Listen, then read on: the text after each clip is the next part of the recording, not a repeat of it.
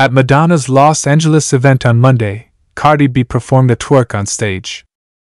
During her celebration tour, the 65 year old pop legend pulled the 31 year old rapper onto the stage as her latest fortunate star. With her massive tour, which offers a retrospective look at her changing musical styles and multiple visual changes during a colorful 40 year career, Madonna, 65, is presently packing stadiums across the globe. The singer hosts a fashionable ballroom section throughout each performance, when her backing dancers showcase their talents. The Like a Virgin hitmaker frequently asks a famous person to judge the lively and raucous interlude with her.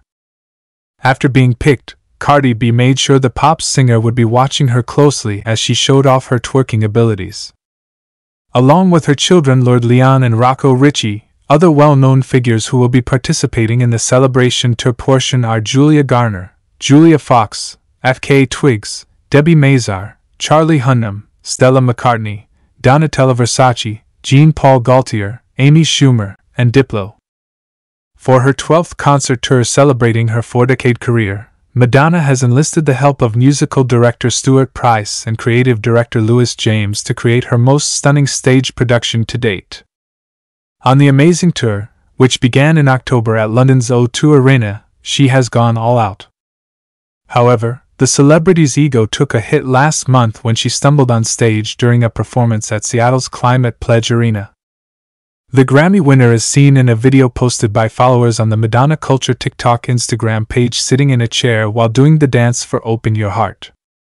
The dancer was supposed to bring the chair back toward the main stage as part of the routine, but it looks like they slipped on the high heels, landing both the dancer and Madonna on the ground with their legs in the air. The audience cheered as Madonna, who had been off kilter for a while, flipped over on her stomach and laughed a little. As the musician eagerly attempted to carry on with the concert, another crew member stepped up to assist her in getting up to a different chair. But when she discovered she was seated on the chair the incorrect way, she twisted around and cursed a little. She informed the audience, S asterisk asterisk T, I forgot the words, as the chaos continued to throw her off, but she quickly put things back on track like the real professional that she is. Fans could only express their admiration for the iconic performer's speedy recovery after the incident's video was made public. She is a freaking pro! exclaimed one. Her entire endeavor to amuse us. You must adore her. She's amazing. In order to assist treat Madonna's serious bacterial infection, physicians placed her in a medically induced coma when she was sent to the hospital in June. The July start date of the tour had to be pushed back by three months for the vocalist.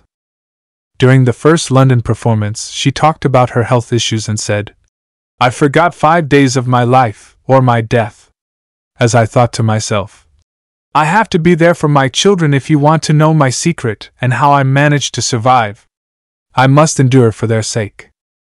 The Palacio de los Deportes in Mexico City is where the tour is expected to end on April 26th.